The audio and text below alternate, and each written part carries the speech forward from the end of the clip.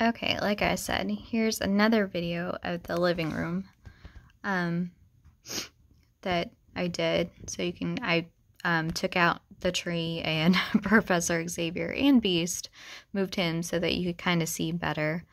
Um, like I said, I made the couches and the chairs and the coffee table. I didn't make that clock. I just thought, um, since it's an older home, most older homes have um, Vic, uh, grandfather clocks in them, and I just thought it was cool.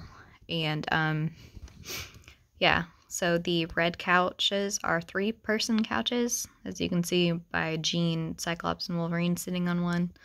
And there's Rogue sitting there by herself, um, just to kind of show you the scale. And then, of course, the armchairs are just a one person.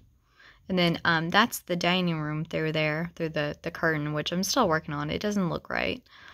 But um, so I'll show you guys that next since you can kind of already see it. And it's pretty much done, I think. Well, I mean, hopefully. so I hope you like it. And like I said, as I complete more rooms, I will, um, of course, show you more rooms.